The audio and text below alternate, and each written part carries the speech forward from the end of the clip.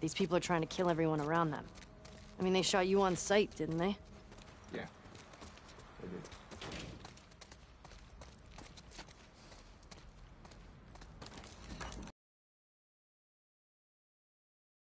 Only a couple days. When we first got here, she fucked up a bunch of wolves. You'd have been impressed. I bet. You don't trust that girl.